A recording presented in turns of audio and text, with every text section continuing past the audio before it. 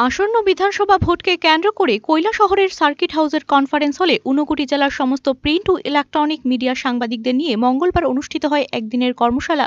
কর্মশালার আয়োজন করেন ঊনকোটি জেলার জেলাশাসক ডক্টর বিশাল কুমার। কর্মশালায় জেলাশাসক ছাড়াও উপস্থিত ছিলেন অতিরিক্ত জেলাশাসক সত্যব্রতনাথ শহরের মহকুমা শাসক প্রদীপ সরকার ও কুমারঘাটের মহকুমা শাসক সুব্রত দাস শহরের মহকুমা পুলিশ আধিকারিক ধ্রুবনাথ সহ জেলার বিভিন্ন আধিকারিক ও আরক্ষা দপ্তরের আধিকারিকরা। কর্মশালায় role of media elections, model code of conduct, coverage of poll and counting এর বিষয়ে বিস্তারিতভাবে আলোচনা করেন টিসিএস বাদল রায়। এছাড়াও ইভিএম মেশিন ও ভিভিপ্যাটের ব্যবহার সম্বন্ধে বোঝানো হয়? আগামী বিধানসভা নির্বাচনে উৎসবের মেজাজে ভোট করার জন্য বাড়ি বাড়ি আলপনা আঁকার প্রতিযোগিতা চলছে। অতিরিক্ত জেলাশাসক জানান, আগামী বিধানসভা নির্বাচনে সুষ্ঠুভাবে ভোট পরিচালনা করার জন্য ইতিমধ্যে চার কোম্পানি কেন্দ্রীয় বাহিনী জেলায় প্রবেশ করেছে। মোট আঠাইশটি কোম্পানি কেন্দ্রীয় বাহিনী নির্বাচনে জেলায় থাকবে। কর্মশালায় কৈলাসহর ও কুমারঘাট মহকুমায় প্রায় ত্রিশ জন সাংবাদিক উপস্থিত ছিলেন। অনুষ্ঠান শেষে প্রত্যেক সাংবাদিককে জেলাশাসক স্বাক্ষরিত সার্টিফিকেট প্রদান করা হয়। কর্মশালা শেষে জেলাশাসক প্রত্যেক সাংবাদিক সহ অন্যান্য আধিকারিকদের সাথে আহারেও যোগ দেন এ ধরনের একটি কর্মশালার আয়োজন করায় উপস্থিত সাংবাদিকরা জেলাশাসক ডক্টর বিশাল কুমারকে ভূয়সী প্রশংসা করেন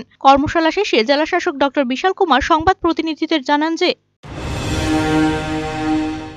हमारे जो जर्नलिस्ट भाई भाई बहन हैं इनके साथ हमने एक आज वर्कशॉप किया है जिसमें इलेक्शन और उससे रिलेटेड जो भी एक्टिविटीज़ हैं जो भी जो वोटर्स हैं, उनके अवेयरनेस के लिए हम और वो साथ में मिलकर क्या कर सकते हैं। और जो पूरा प्रोसीजर है इलेक्शन का, वो उनको बताया गया है।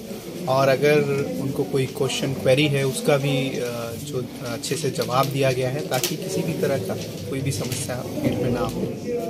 और हमें उम्मीद करते हैं कि इसी तरीके से जो हमारे पत्रकार भाई बंधु हैं, वो लोगों के बीच में इस तरह के कॉन्फिडेंस बिल्डिंग मेजर करेंगे और लोग ज़्यादा से ज़्यादा आने वाले इलेक्शन में पार्टिसिपेट करेंगे। सर मैं अपकमिंग वोट के लिए थोड़ा बहुत मदद कीजिए। कभी हमारे जो नागरिक हैं, उनसे रिक्वेस्ट करूँगा कि वो ज़्यादा से ज़्यादा आके आने वाले विधानसभा इलेक्शन में अपने वोट को एक्सरसाइज करें और एक उल्लास की तरह इस आने वाले इलेक्शन में पार्टिसिपेट करें। Bureau report, search India, TNN.